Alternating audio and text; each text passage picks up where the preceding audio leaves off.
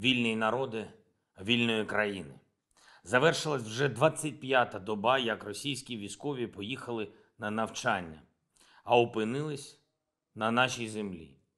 Всі вони так кажуть, коли потрапляють в полон. Azad ölkənin azad xalqı artıq 25 gündür ki, Rusiya hərbçiləri təlimə gedirlər, amma bizim torpaqlarımıza çıxdılar. Əsir düşənlərin hamısı burada olma səbəbini belə izah edirlər. Artıq 25 gündür ki, Rusiyalı hərbçilər güya bizim xalqı yalandan uydurduqları natsistlərdən qorumaq istəyirlər və hələ də onları tapa bilmirlər. Eyni ilə Ukraynanın hansısa şəhərində və ya vilayətində onları güllərlə qarşılayacaq Ukraynalıları tapa bilmədikləri kimi və ən əsası da odur ki, Rusiyalı hərbçilər evə heç cür yol tapa bilmirlər. Buna görə də biz onlara Tanrı məhkəməsinə gedən yolda kömək edirik. Əminəm ki, Tanrı məhkəməsi onlara bir cəza verəcək. Ömürlük zirzəmi.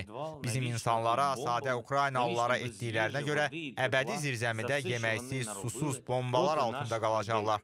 Axtırkada, Xarkovda, Borodyankada, Çernigovda, Mariupolda, Valnavaxada və digər sarsılmaz şəhərlərimizdə etdiklərinə görə bu cəzanı çəkəcəklər.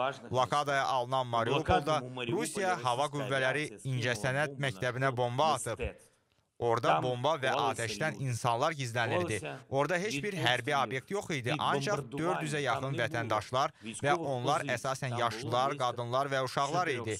Hazırda onlar dağıntılar altındadır və biz bilmirik onlardan neçəsi sağdır, amma biz çox yaxşı bilirik ki, o bombanı atan pilotu biz mütləq tapacağıq və onu vuracağıq. Yüzlərlə qatili vurduğumuz kimi onu da vuracağıq. Bugün bütün deputat və məmurlar qarşısında Knessetdə çıxış etdim. Hər şeydən əvvəl İsrail xalqı ilə adınızdan, bütün Ukraynalıların adından danışdım.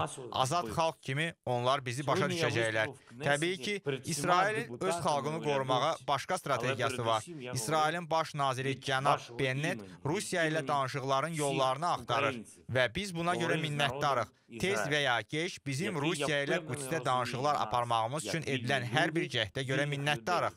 Sülh əldə etmək mümkündürsə, Qüds uyğun məkandır.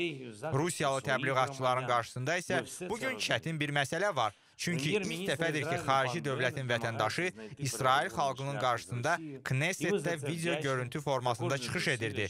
Moskvada natsizmdə günahlandırılan Ukrayna prezidenti Knessetdə İsrail xalqı qarşısında çıxış edib. Artıq bir fakt Moskvada hər şeyin yalan olduğunu göstərir. Martın 20-si gün ərzində ancaq 4 humanitar dəhliz fəaliyyət göstərib. 7295 nəfər təxliyə edilib. 4000-ə yaxın Mariupollu Zaporojyaya çatıb. Sabah səhər bu vacib missiyanı görmək üçün Mariupola yeni avtobuslar göndərməyə hazırlaşırıq.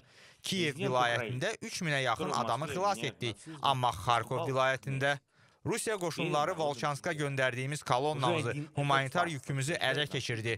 6 nəfər ilə əlaqə kəsilib. Bu 5 sürücü və bir həkimdir. Onları çıxarmağa çalışacağıq və insanlarımıza zəruri kömək göndərməyə davam edəcəyik. Xerson vilayəti bugün yenə hər zaman olduğu kimi küçələrdə bizə görə, bütün xalqa görə mübarizə aparıb. Buna görə onlara minnətdaram.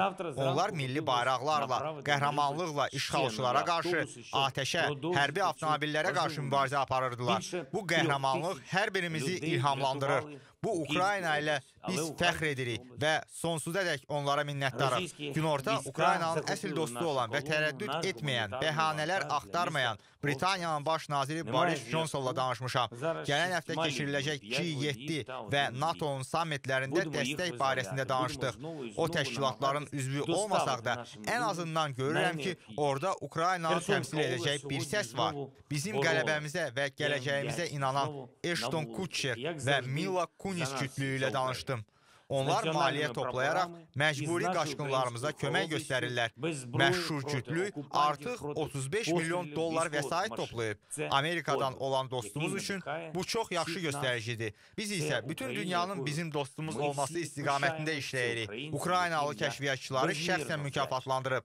Xahiş edirəm ki, anlayış göstərin. Çünki mən onların adlarını deyə bilmirəm. Amma inanın ki, bu adamların müdafiəmizə töhfəsi o qədər böyükdür ki, Ukraynanın orden və rütbələri onlar üçün edə biləcəyimiz ən kiçik şeydir.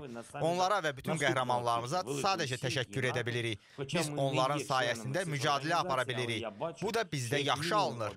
Ukrayna isə yaşayır. Yaşasın Ukrayna.